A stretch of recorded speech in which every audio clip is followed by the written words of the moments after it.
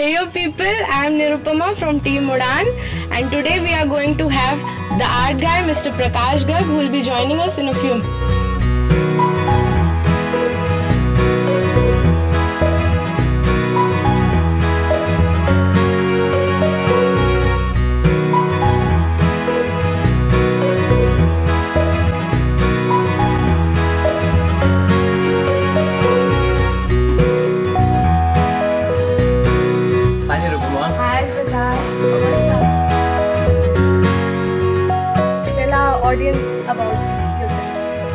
I'm Prakash Kar. Okay. Yeah. Um, I belong to Avirit for Pathology near Ambikapur. And then I completed my schooling over there.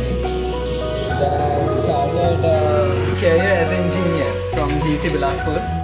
Then uh, I was doing painting since uh, long. Even I don't remember since when. Like uh, I started uh, with some sketches, painting, and uh, now working, now taking as interior projects and uh, everything like wall art, home styling. So बताइए कि आपने professionally art को क्यों opt किया कब से किया आपने स्टार्ट किया मैंने सेकेंड ईयर में मेरे फ्रेंड ने सजेस्ट किया था मैंने फेसबुक पेज बनाया था।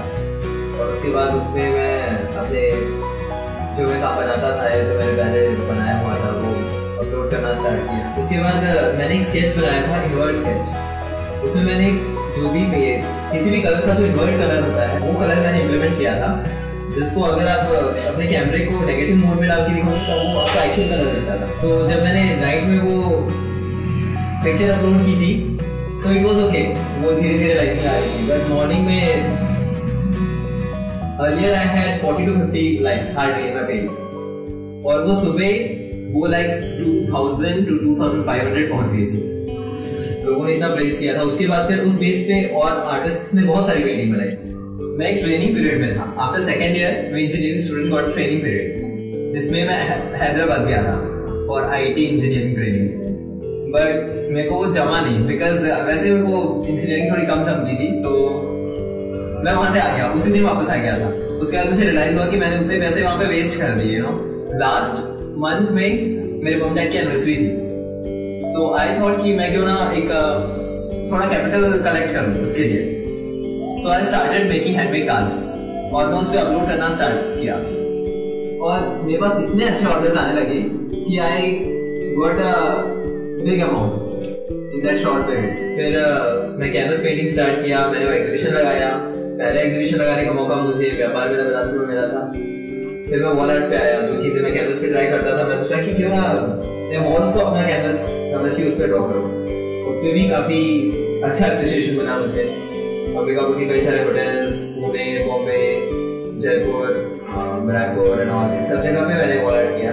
फिर मुझे एक बहुत ही अच्छा चांस मिला इंटीरियर डिज़ाइनिंग का, जो मेरा अभी तक का सबसे बड़ा प्रोजेक्ट है। प्लेटिनम बार बिलासपुर में मैंने अपना काम किया था, जो उनके ऑनर ने मुझे फ्री हैंड वो काम दे रखा था। फिर मैं अभी जो ऑर्डर्स ले रहा हूँ, वो वॉल आर्ट के भी हैं और मैं इंटीरियर डिज़ाइन के प्रोजेक्ट्स भी ले रहा हूँ कुछ क्लोथिंग शॉप के रेस्टोरेंट्स के लोग तो आपने कोई स्पेशल इसके लिए ट्रेनिंग ट्रेनिंग मैंने कहीं से नहीं ली। इनफैक्ट मुझे याद भी नहीं मैंने कब से ये सब स्टार्ट किया और फॉर्मल ट्रेनिंग मिली बट प्रैक्टिस के साथ uh, चीज़ें मैं करता गया। तो आपका कोई आइडल है जिसको आप फॉलो करते हैं? नॉट एट ऑल मैं कभी किसी को फॉलो नहीं करना भी नहीं चाहता। बिकॉज़ ऐसा होता है जनरली हम किसी को फॉलो करते हैं तो फिर उसकी चीज़ें देख के कॉपी करने लगते हैं। स्कूल में आपका फेवरेट सब्जेक्ट क्या था बिसाइड्स आर्ट साइंस बिकॉज़ मुझे शुरू से ही लॉजिक वाली चीज़ें बहुत ज़्यादा पसंद रही हैं। और uh, मैं काफ़ी ज़्यादा लाइक वेट करता था कि ये चीज़ें होती कैसे हैं उन सब चीज़ों को जानने के लिए।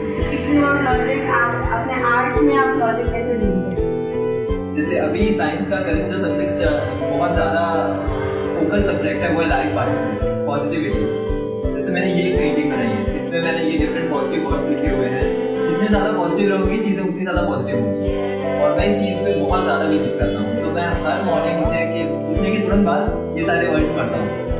मुझे ऐसा लगता है कि मैं पूरा दिन एक पॉजिटिव एटमोसफेयर में रहता मतलब मैथ्स तो मेरे को बिल्कुल पसंद नहीं बट इंजीनियरिंग के लिए मैथ्स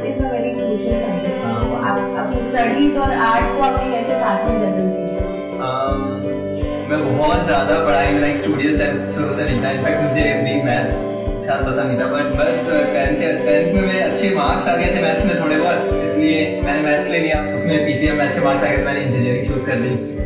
जिसके जिसमें मैं नहीं जाना चाहता था ऑब्वियसली कभी भी लाइक अभी भी मैं बी और डी में बहुत कंफ्यूज होता हूँ बिकॉज़ दोनों की शेप एक जैसे होते हैं। और मैंने एक्चुअली मैथ्स के साथ आर्ट को सेटल नहीं किया। अपने आर्ट के साथ मैथ्स को एक छोटा सा प्लेस दिया था। आपके पेरेंट्स ने आई एम श्योर आपको हमेशा बहुत सपोर्ट किया होगा। तो अभी उनको कैसा लगता है? आपको प्रोफेशनली स्ट्रीम में एक्सेल करते हुए लाइक मम तो मेरे अलग अलग ड्राइंग बुक रखती थी आई वाज किड इसमें तो ये बनाओगे इसमें नेचर से रिलेटेड बनाओगे इसमें पेट से रिलेटेड बनाओगे और और अभी ये चीज़ों को प्रोफेशन अडॉप्ट करते टाइम उनको थोड़ा लगा एज अ अदर पेरेंट्स कि ये एक्सेल कर पाएगा या नहीं।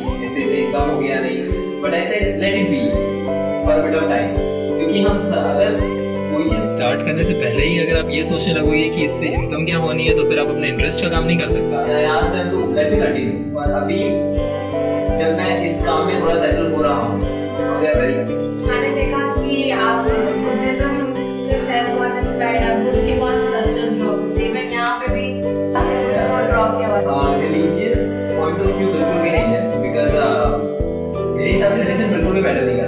रिलीजन पे एक स्पेसिफिक रिलीजन पे कभी बिलीव नहीं करता आई बिलीव ऑल रिलीजन्स तो मैं बुद्धिज्म से नहीं बल्कि बुद्ध से ज़्यादा प्रभावित हुआ कहना चाहिए और उनके चेहरे पे एक अलग काम रहता है जो मुझे बहुत ज़्यादा टचिंग लगता है. गिवन अ चांस अगर आपको पैसा और फेम दोनों में से कुछ एक चूज़ करना हो तो क्या चूज़ से है? वेरी प्रैक्टिकल तो मैं दोनों चीज़ चाहूँगा क्योंकि सिर्फ़ फेम से या सिर्फ़ पैसे से कुछ भी नहीं.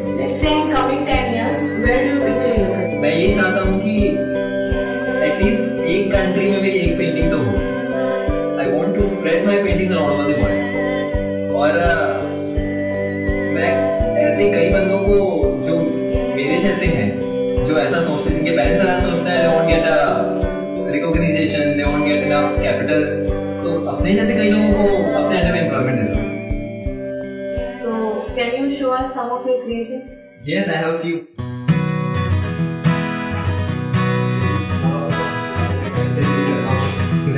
Uh, this painting I used to call the shape of life.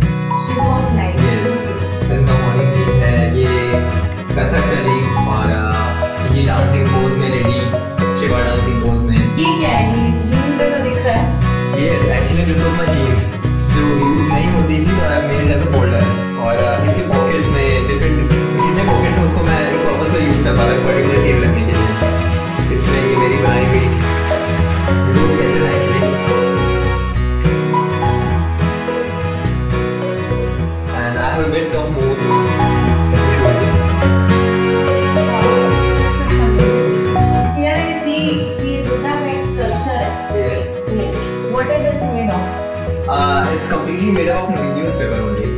Actually, मैंने इस का नाम दिया है कलर्स ऑफ़ लाइफ बटरफ्लाई जो कलर्स के लिए ही फ़ेमस है उनके कलर्स के लिए वो मैंने पुट किया है ताकि और ज़्यादा मैं कलर को एग्जैगरेट कर पाऊँ इसमें मैं ये बताना चाहता हूँ कि दो पर्सन अपनी ज़िंदगी के कलर्स को तभी समझ सकते हैं जब वो एक दूसरे के पॉइंट ऑफ़ व्यू को समझे like this is the thought कि मैंने ये एक आई कॉमन रखी है मम्मा आई गेस मेरा टाइम हो गया है और मुझे तुम्हारी कॉलेज में ही काम है।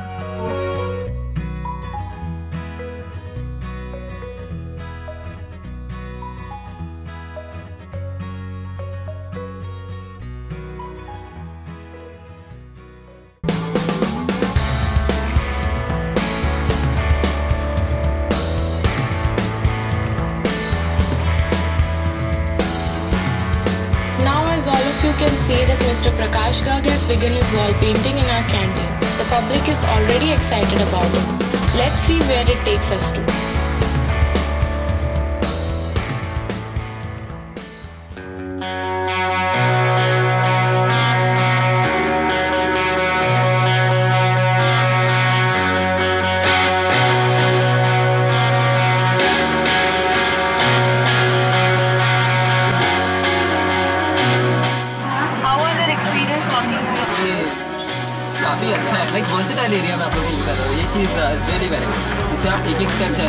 लेके जा रहे हो, ऐसे ही इसमें और चीज़ें ऐड कर रहा हूँ आई विश